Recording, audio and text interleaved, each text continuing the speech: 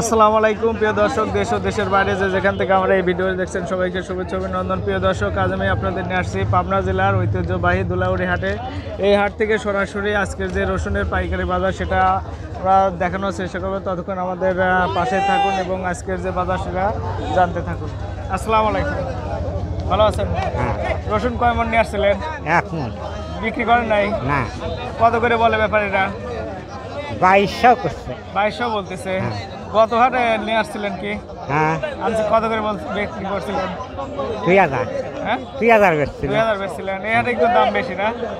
এই দুইশো বেশি হচ্ছে দুশো বেশি। সর্বোচ্চ কত গেল আজকের বাজার? সাতাশ আঠাশশো। সাতাশ আঠাশশো। যেটা ভালো সেটা। আচ্ছা ধন্যবাদ আপনাকে। আসসালামু আলাইকুম ভাই। ভালো আছেন হ্যাঁ? জি ভাই ভালো আছি। রসুন কয় মন নিয়ে আসছিলেন? দশ রকম তিন মন রসুন নিয়ে এসেছিলাম বিক্রি করছেন কয় মন?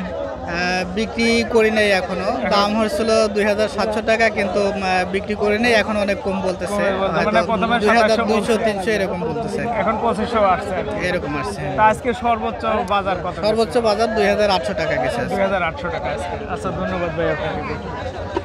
আমরা কেবল এলাম তাদের দাম কমা। আসসালামু আলাইকুম। ওয়ালাইকুম আসসালাম। ভালো আছেন হ্যাঁ? রসুন কত করে বলে? রসুন সাতাশ আঠাশ। সাতাশ আঠাশ। পঁচিশ। পঁচিশ এরকম এখন আপনারটা কত বলতেছে আমার বলতে সাতাশ। সাতাশ। আচ্ছা ধন্যবাদ। দেখি ভাই।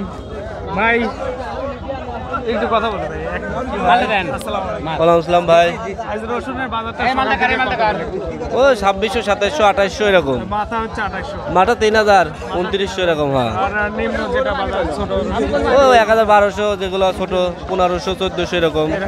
হ্যাঁ। আচ্ছা ধন্যবাদ তো প্রিয় দর্শক আজকে দুলাউড়ি হাটের যে রসুনের বাজার সেটা একজন অভিজ্ঞ ব্যাপারের মাধ্যমে আমরা দেখালাম যে প্রথমে কিন্তু সাত হাজার আঠারোশো বা তিন হাজার পর্যন্ত গেছে। এখন বর্তমানে একটু বাজারটা বাড়িয়ে দিয়েছে, এখন একটু কমের দিকে। আর কে- তো প্রিয় দর্শক, এরকম নতুন নতুন আপডেট ভিডিও পাওয়ার জন্য আমাদের চ্যানেলটি সাবস্ক্রাইব করে আমাদের সাথে থাকুন। আজ এ পর্যন্ত, আল্লাহ হাফেজ।